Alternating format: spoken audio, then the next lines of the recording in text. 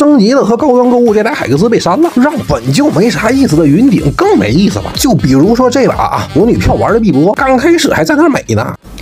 哎呦，哎呦，你是摔了还是拉了？搁那哎呦哎呦的。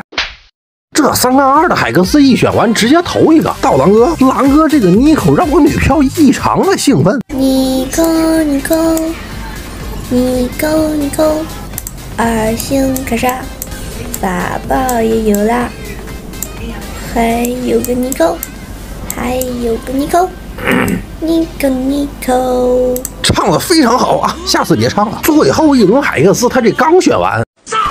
没错，直接走了四个大选都随便拿的了。这版本烂成这样，设计师你们就不反思一下吗？四个人的战争，我女票就没输过，到全部拿走环节，哎，这就有意思了啊，兄弟们，咱们都知道金色密宝可以递出来两个妮蔻，那你知道这紫色密宝能递出光明装备吗？反正我是第一次见啊。咱们回到对局啊，这一把我女票已经打了十七连胜了，五费卡还没开始调几张，对面不行了，逼着我女票去摆那个赏金连败的站位，甚至每一张。二星五费都拿的心惊胆战呢！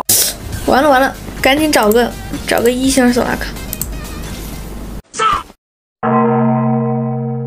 打完大怪六杠一，碧波终于叠到了四百层啊！两个妮蔻，一个头子，请忽略这几件装备啊，怕对面打不过没敢给。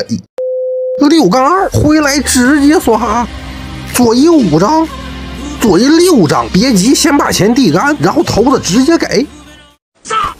左一七张，看看这待遇，两个妮蔻直接捏，三星左一九 A。